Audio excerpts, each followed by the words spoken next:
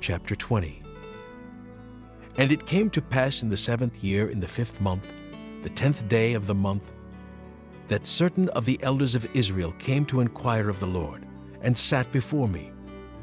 Then came the word of the Lord unto me, saying, Son of man, speak unto the elders of Israel, and say unto them, Thus saith the Lord God, Are ye come to inquire of me? As I live, saith the Lord God, I will not be inquired of by you. Wilt thou judge them, Son of man? Wilt thou judge them? Cause them to know the abominations of their fathers. And say unto them, Thus saith the Lord God, In the day when I chose Israel, and lifted up mine hand unto the seed of the house of Jacob, and made myself known unto them in the land of Egypt, when I lifted up mine hand unto them, saying, I am the Lord your God. In the day that I lifted up mine hand unto them, to bring them forth of the land of Egypt into a land that I had espied for them, flowing with milk and honey, which is the glory of all lands.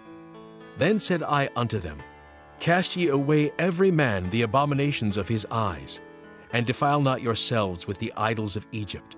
I am the Lord your God. But they rebelled against me, and would not hearken unto me. They did not every man cast away the abominations of their eyes, neither did they forsake the idols of Egypt. Then I said, I will pour out my fury upon them, to accomplish my anger against them in the midst of the land of Egypt. But I wrought for my name's sake, that it should not be polluted before the heathen, among whom they were, in whose sight I made myself known unto them, in bringing them forth out of the land of Egypt.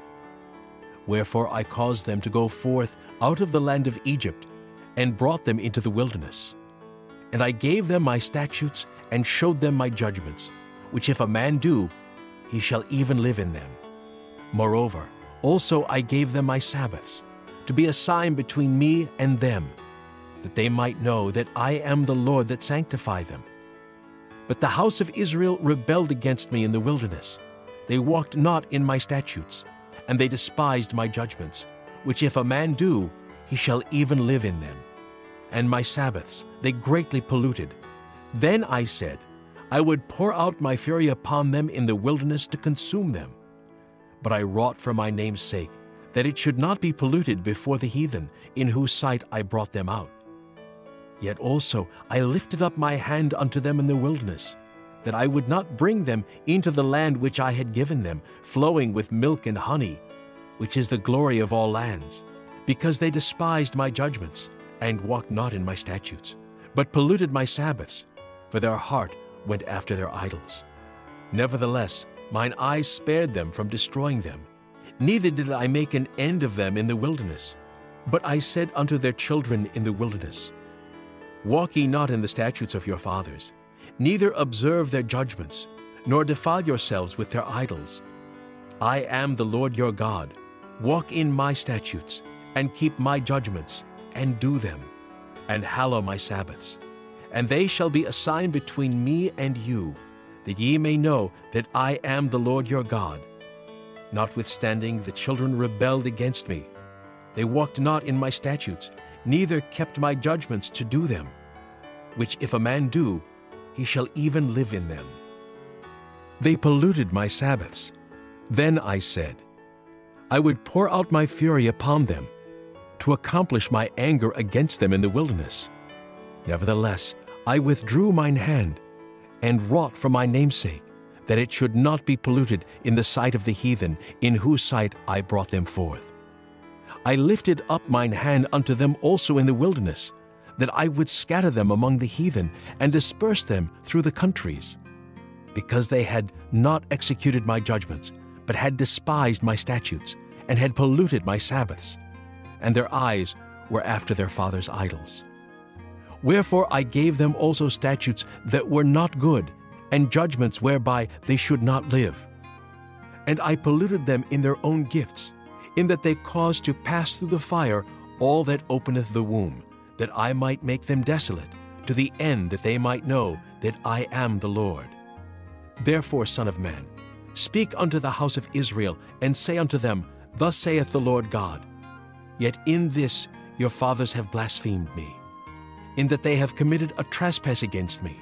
For when I had brought them into the land, for the which I lifted up mine hand to give it to them, then they saw every high hill, and all the thick trees, and they offered there their sacrifices, and there they presented the provocation of their offering.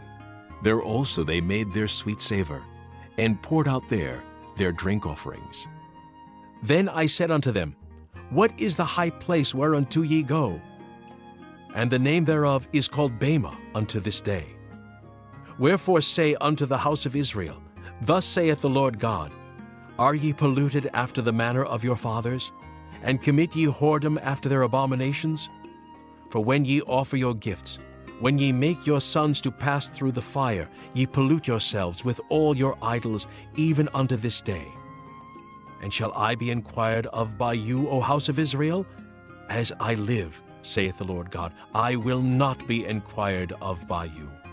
And that which cometh into your mind shall not be at all that ye say, We will be as the heathen, as the families of the country to serve wood and stone. As I live, saith the Lord God, surely with a mighty hand, and with a stretched out arm, and with fury poured out, will I rule over you. And I will bring you out from the people, and will gather you out of the countries wherein ye are scattered, with a mighty hand, and with a stretched out arm, and with fury poured out. And I will bring you into the wilderness of the people, and there will I plead with you face to face. Like as I pleaded with your fathers in the wilderness of the land of Egypt, so will I plead with you, saith the Lord God. And I will cause you to pass under the rod, and I will bring you into the bond of the covenant, and I will purge out from among you the rebels and them that transgress against me. I will bring them forth out of the country where they sojourn, and they shall not enter into the land of Israel. And ye shall know that I am the Lord. As for you, O house of Israel, thus saith the Lord God, Go ye, serve ye every one his idols, and hereafter also, if ye will not hearken unto me, but pollute ye my holy name no more with your gifts and with your idols. For in mine holy mountain, in the mountain of the height of Israel, saith the Lord God, there shall all the house of Israel, all of them in the land, serve me. There will I accept them, and there will I require your offerings and the first fruits of your oblations with all your holy things. I will accept you with your sweet savor, when I bring you out from the people and gather you out of the countries wherein ye have been scattered. And I will be sanctified in you before the heathen. And ye shall know that I am the Lord, when I shall bring you into the land of Israel, into the country for the which I lifted up mine hand to give it to your fathers. And there shall ye remember your ways, and all your doings, wherein ye have been defiled. And ye shall loathe yourselves in your own sight for all your evils that ye have committed. And ye shall know that I am the Lord, when I have wrought with you for my name's sake, not according to your wicked ways, nor according to your corrupt doings, O ye house of Israel, saith the Lord God. Moreover, the word of the Lord came unto me, saying, Son of man, set thy face toward the south, and drop thy word toward the south, and prophesy against the forest of the south field. And say to the forest of the south, Hear the word of the Lord. Thus saith the Lord God Behold, I will kindle a fire in thee, and it shall devour every green tree in thee, and every dry tree. The flaming flame shall not be quenched, and all faces from the south to the north shall be burned therein. And all flesh shall see that I, the Lord, have kindled it. It shall not be quenched. Then said I, Ah, Lord God, they say of me, Doth he not speak parables?